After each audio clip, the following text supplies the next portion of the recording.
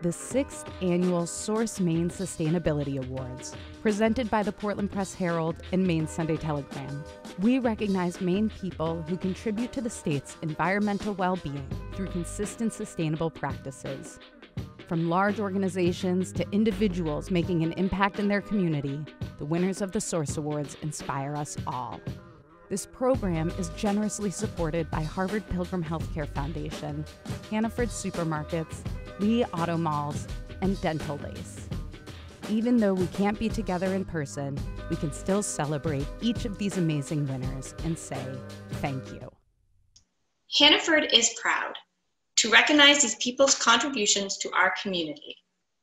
Even though we can't be together, we can still celebrate each of these amazing winners and say thank you. I am pleased to introduce you to the first honoree of 2020, Dr. Marissa McMahon, a scientist focused on preserving Maine's fishing traditions and the health of the Gulf of Maine.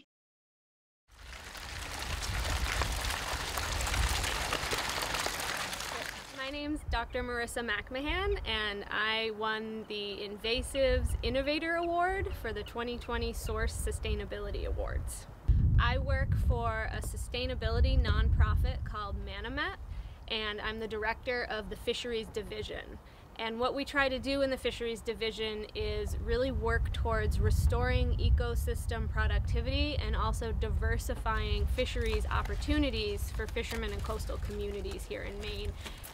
That's important because right now the Gulf of Maine is warming faster than 99% of the rest of the world's oceans. So we are experiencing incredible environmental change here and we're very dependent on just a few fisheries. And so working towards restoring our ecosystems will make us more resilient to that climate change and diversifying our fisheries opportunities will provide new ways that fishermen and coastal communities can make a living from the ocean. Hi, I'm Bree Warner, the CEO and president of Atlantic Sea Farms, and we have won the Seaweed Supplier Award for the 2020 Source Awards. At Atlantic Sea Farms, we are a first to market kelp product producer. And our bottom line, our main mission is to help diversify the coastal economy in the face of rising climate change. And we do that through a number of ways. One, we work with fishermen up and down the coast from Portland to Eastport, and we help them become kelp farmers. We provide technical assistance, we grow seeds and give them to them for free, and we guarantee purchase of every one of those strands of kelp that we get back in here at the end of the season. Kelp also helps mitigate some of the effects of ocean acidification locally. It takes carbon and nitrogen out of the water and actually reduces ocean acidification within the kelp halo. The third part of that is kelp is really good for you. It's got more calcium than any food on the planet. It's got a ton of potassium, ton of vitamin B12, iodine, magnesium, and I try to get some in my smoothies every day because it's a nice nutrition boost.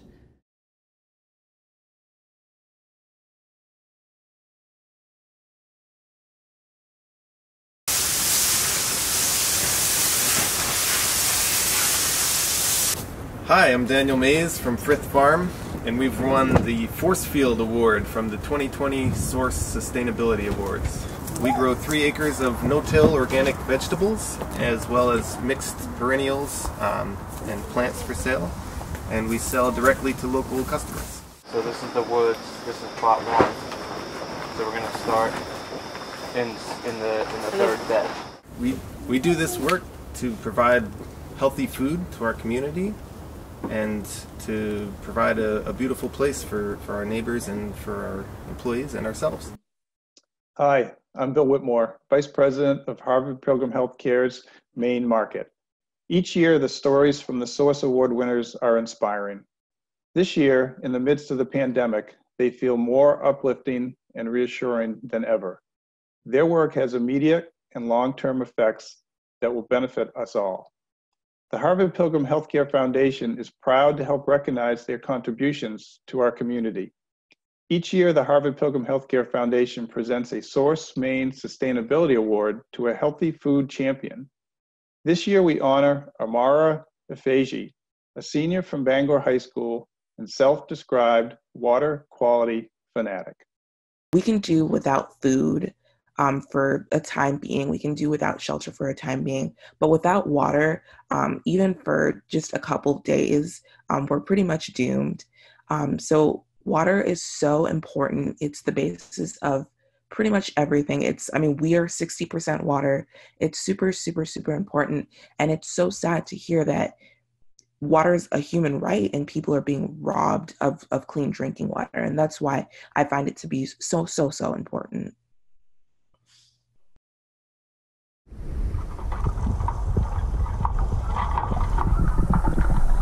Hi, I'm Linda Rice. I'm the winner of the Lakes Lobbyist Award from the 2020 Source Sustainability Awards. I represent the North Pond Association and I wear many hats within that organization. I am the volunteer coordinator for the courtesy boat inspections. I also am a certified invasive plant patroller and the secretary of the North Pond Association.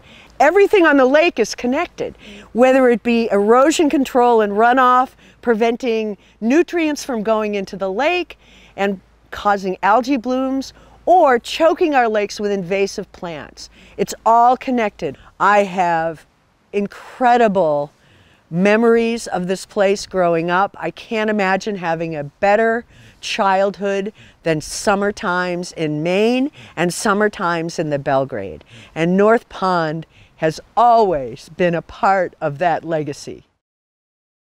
Hi everyone, I'm Will Bonsall.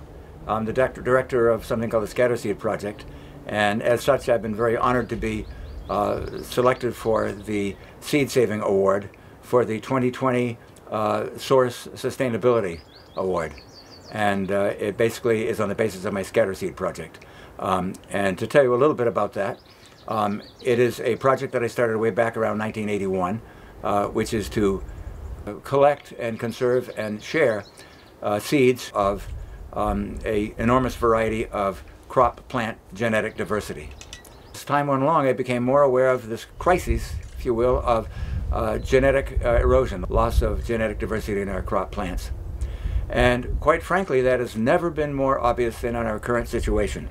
With the coronavirus epidemic, people are becoming painfully aware uh, of how vulnerable we are to disruptions of the things that are important in our lives, and particularly um, the sources of our food and the seeds for those food.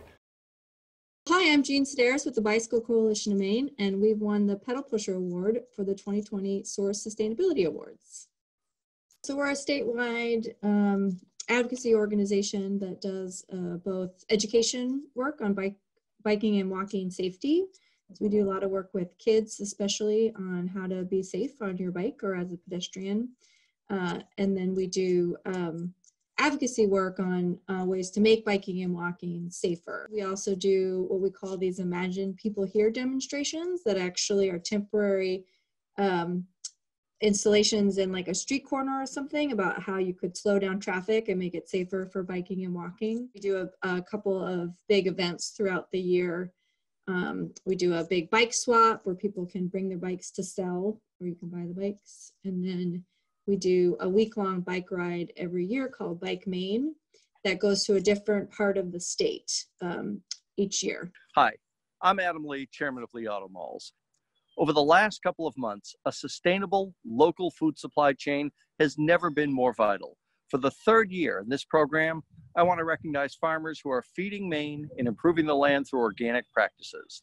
This year, I present the Healthy Farm Champion Award to the Bonner Farm.